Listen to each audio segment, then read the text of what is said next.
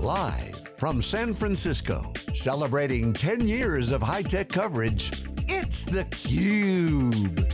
Covering VMworld 2019. Brought to you by VMware and its ecosystem partners.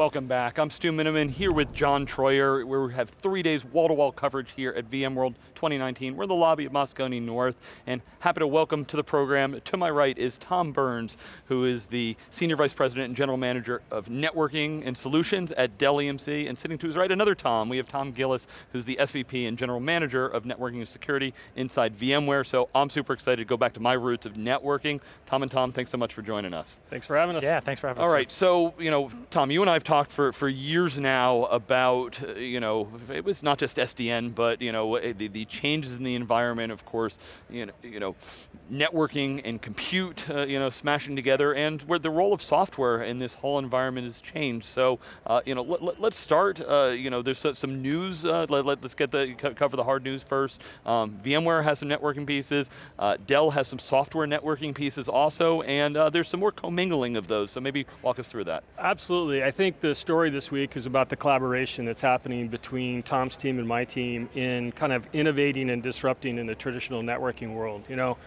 Tom's had NSX around microsegmentation, network virtualization, a lot going on with analytics and capability to really see what's going on in the network from core to out, edge to cloud. The acquisition of Avi, which is outstanding, other things that are going on in VMware. Dell EMC disrupting around disaggregation of hardware and software, giving customers that capability to run the NOS they need for the connectivity they need, depending upon where the network is sitting. So this week we got two announcements. One is we've got worldwide shipment of the Dell EMC SD-WAN solutions powered by VMware. Great, you know, better than none software combined with better than none hardware coming from Dell EMC on a global basis, worldwide, you know, secure supply chain plus professional services. Yeah. Worldwide is a key, a key yeah. parameter there, right? And, and, and, Tom, maybe you know, bring us in. You know, we would watch VeloCloud before the acquisition. Yes. SD WAN. Yes. You know, there's a lot of solutions that fit in a couple of different markets. It's not a homogeneous market yes. there. Yes. Maybe you know, give us just kind of the key yeah. points from a VeloCloud standpoint. SD SD WAN is a white hot market, uh, uh, and you know, because it has the classic combination of better, faster, cheaper. It delivers a better end user experience. It is so easy to deploy this, and it saves money. MPLS circuits and backhauling traffic, those, that was a 1990s idea, and it was a good idea back then, but it's time for a different approach. Yeah, and, and, just when I've talked to some customers and talked to them about their multi-cloud environment, SD-WAN is one of those enabling technologies that you know, they will bring up to allow them to actually do that. Yeah, it was, it was the movement really to Office 365 and SaaS applications that drove the, the SD-WAN revolution, and that backhauling all this traffic to headquarters and then going out to Office 365 when a user might be in you know, Des Moines that doesn't make any sense. And so, so with SD-WAN, we intelligently route the traffic where it needs to go, delivers a better end user experience, and it saves a bunch of money. I mean, it's, it's not hard to imagine that cheap broadband links are you know, an order of magnitude lower than these dedicated MPLS circuits. And the interesting math is that you can take two or three low cost links and deliver a better experience than with a single dedicated circuit. I'm kind of interested in the balance between hardware and software. Yeah. Right, the family trees of networking and, and compute kind of were different uh, because of they had specialized needs in silicon. Yes. So where are we now? It's 2019. Uh, where are we now with, with line speeds and, and x86 and, and the hardware story? Uh, I, I, think, and I'll let Tom join, the, the discussion around speeds and feeds is not dead, but it should be dying very, very, very quickly, yeah, right? Yeah. You know, it's around virtual network functions and everything really moving to the software layer, yeah. sitting on top of commoditized x86 based you know, hardware. And the combination of these two factors help our customers a lot more with flexibility, agility, time to deploy, return on investment, all these types of things. But, I mean, that's my view. Well, there's a recurring theme you're going to hear is that in networking, and I think you were alluding to this, uh, you needed these dedicated kind of magical black boxes that had custom hardware in order to do some pretty basic processing, whether it be switching, routing, advanced security, you had to run you know, things like you know, hardware reg regular expression matching, et cetera. It was about three years ago that Intel introduced a technology called DPDK, which is a, an acceleration that allowed VMware to deliver in software on a single CPU, you know, we could push traffic at line rates. And so, so or you know, faster than line rates. And so that was sort of like, there wasn't the, the champagne didn't go off and the, you know, the ball didn't drop in, in Times Square, but it's a really important milestone because all of a sudden, it doesn't make any sense to build these dedicated black boxes with custom hardware. Now general purpose hardware, when you have a global supply chain and, and logistics partner like Dell, coupled with distributed software, can not only replace these network functions, but we can do things completely differently. And that's really, you know, we're just beginning this journey because it's only recently that we've been able to do that, but, uh, but I think you're going to see a lot more of that in the future. Right. Uh, so we talked about SD-WAN, uh, there was a second announcement. That goes back into the core. You know, the creation of a fabric inside of the data center is still a bit difficult. I mean, I've heard quotes of saying it's something like 120 lines of CLI, you know, per switch, so let's say four to six leaf switches, switches and two spine switches could take days to set up a fabric.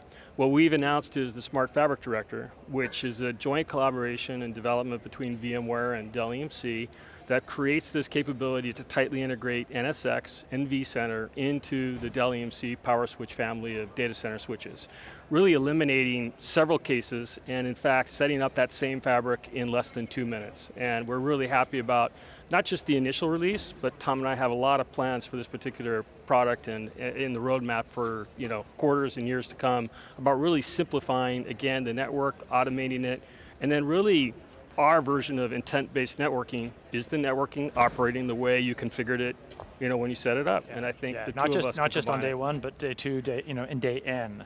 And I think you know you hit the nail on the head. Networking has changed. It's no longer about speeds and feeds. It's about availability and simplicity. And so you know Dell and VMware I think are uniquely positioned to deliver a level of automation where this stuff just works. Right? I don't need to go and configure these magic boxes individually. I want to just write you know, a line of code where my infrastructure is built into the CI/CD pipeline, and then when I deploy a workload, it just works. I don't need an army of people to go figure that out, right? And and I think that's the power of what we're working together to unleash. When, some, when something, a technology comes up, like, like SD-WAN, sometimes there's a lot of confusion in the marketplace. Uh, vendors going out, one size fits all, this will do everything. Of course. Where are we in the development of SD-WAN and, and what is the solution? Who should be looking at, taking a look at the solution now? Yeah, the SD-WAN market, as I said, is, is growing, depending on whose estimate you look at, between 50 and 100% a year. And the reason is better, faster, cheaper, right? So everyone has figured out, you know, like maybe it's time to think differently about the about network architecture and save some money. Um, uh, so we just announced today on the, on the VMware side an important milestone. Uh, we have more than 13,000 network virtualization customers. That includes our data center as well as the SD-WAN. We don't report them separately. Uh, but 13,000 is, is, you know, that's almost double where it was a year ago. So significant customer growth. We also announced we're deployed together uh, uh, with our partner from Dell in 150,000 branches around the world. So by many metrics, I think uh, VMware is the number one vendor in this space. Um, to your point, it is a crowded, noisy space. Everybody's throwing their hat in the ring. Oh, we do it too. Um, but I think the thing that is driving the adoption and the sales of our product is that when you put this thing in, it fundamentally changes the experience for the end user. And th there's not a lot of networking products that do that. Like, like I've meet customers that are like, this thing is magic. You know, you plug it in and all of a sudden streaming just works. You know, like Google Hangouts or WebExes, like they just work and they work seamlessly all the time. And that, there's something there that I think is still unique to the, the VMware product, and I think it's going to continue to drive sales in the future. So. I think the other strong differentiation when it comes to Dell Technologies, VMware, and Dell EMC combined is we have this vision around the cloud. You know, edge, core, cloud, and you know this hybrid multi-cloud approach. And obviously SD-WAN plays a critical part as one of the stepping stones as it relates to, you know, creating the environment for this multi-cloud environment. So, you know, fantastic market opportunity, huge growth. As Tom said, market's probably doubling in size each year. I don't know what the, the TAM numbers are, I hate to quote, but you know, we really feel as though now having this product and this capability inside of Dell EMC, again, combining our two assets, it could, it could be the next VxRail. It really could. Yeah, yeah. We, we, we, we believe that the SD-WAN is going to be a gigantic market, and I think that what's interesting about our partnership is that we can reach different segments of the market. You know, VMware, we tend to focus on the very high-end, large enterprise customers, technically very sophisticated. Dell can reach customers we don't even know we don't even talk to. And a product is simple enough that it works in all segments. We win the very, very biggest, and we win these you know, smaller accounts where the simplicity of a one-click deployment really, really matters. Yeah, Tom, one of the things that excited me a year ago at this show was the networking vision for a multi-cloud world reminded me of Nicira pre-acquisition. Yes. yes. Uh, you know, when we look at networking today, yeah. it's uh, most network admins, a lot of the network they need to manage, they don't touch the gear, they don't know where it lives, yes. but they are yes. still responsible to keep it up and running, and if something goes wrong, it's there. Yeah. Give us the update as to where we stand with that, yeah. where your customers are, and yeah. how You're asking the right together. question, right? So, Yeah. so our mantra is infrastructure is code. And so no one should ever have to log into a switch. No one should have to look into a queue, and no one should have to be like trying to move packets from here to there. That's just it's very, very difficult and not really feasible. And so, so as networking becomes software, and those general purpose processors I talk about are giving us the ability to to think about not just the configuration of the network, but the operation of the network in ways that were never before possible. So for example, we announced at the show today with our uh, monitoring product, vRealize Network Insight. It's, uh, we call it Vernie, right? not always such clever with the names, but we're really good at writing code. Vernie gives us the ability to, to measure application response time from the data center all the way out to the edge. So a single pane of glass, we can show you, oh, here's where it's broken. Whether it's in the network, whether it's in the server, whether it's the database that's, that's not responding.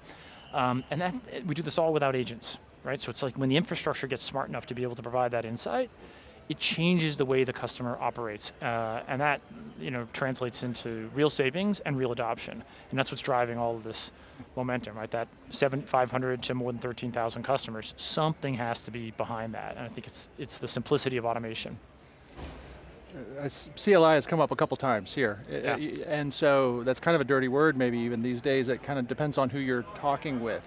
Uh, I think VMware and Dell both have spent a lot of time and effort educating the, the networking engineering market and also educating the kind of data center, you know, the rest of the data center crew about, you know, about each other's worlds. Yeah. Where, again, where are we at now? It sounds like with Director uh, and with the whole, I mean, NS, the NSX, you know, whole stack. Yes. Uh, the, the role is changing of a network engineer, but where, you know, again, where are we in that in that evolution?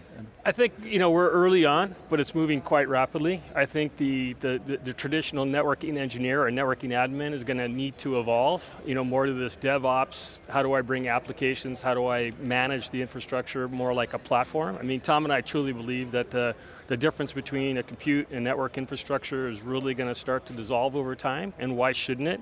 I mean, based upon what's happening with the commoditization and, and the speeds of the, the CPU versus the NPUs coming from merchant silicon, uh, it's really beginning to blur. So I think, you know, we're in the early stages. I mean, certainly from a Dell EMC perspective, we still at times, you know, have those discussions and challenges with traditional networking people.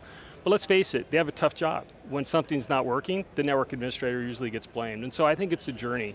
Uh, and things such as the Dell Technology Cloud, open networking, NSX, and now SD-WAN, will continue to drive that, and I think we're going to see a rapid change in networking over the next 12, 18 to 24 months. Yeah, I, have talked to a number of customers that have said, you know, th this journey that uh, Tom was talking about is a, is a challenge because the skill set is different. My, my developers need to learn software. And so what we've been working with VMware is trying to, to make that software easier and easier to use and to actually approach like English language. So the latest versions of NSX have these very simple declarative APIs that you can say, oh, server A can talk to server B, but not server C. Click, done, deploy. And now, in our partnership with Dell, we can take that policy and push it right down into the metal, right down into the silicon.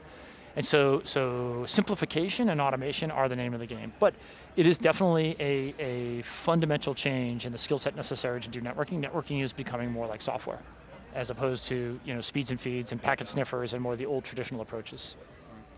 All right, Tom, I want to give you the final word as to uh, you know what people should be taking away from Dell and, and VMware in the networking space.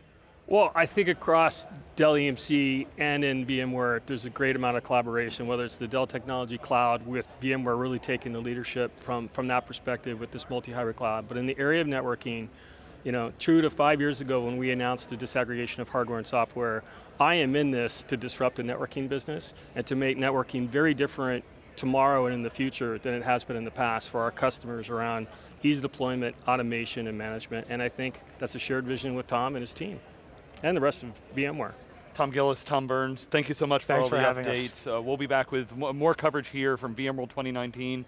Uh, for uh, John Troyer, I'm Stu Miniman. As always, thanks for watching theCUBE.